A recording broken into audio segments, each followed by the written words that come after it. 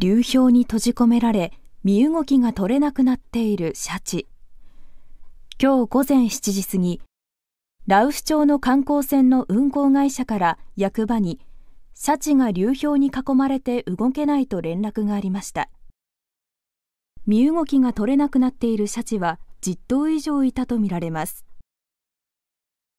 もう氷だいぶ入ってきちゃってたんで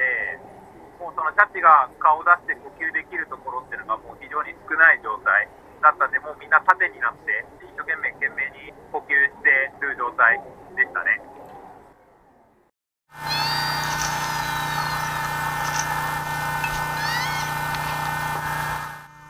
同じような現象は過去にも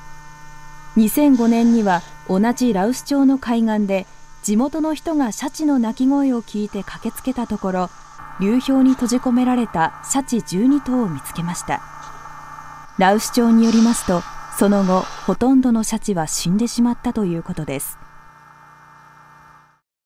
町によりますと担当者が午前中から見守りをしていましたが午後になってシャチの姿が見えなくなったということです。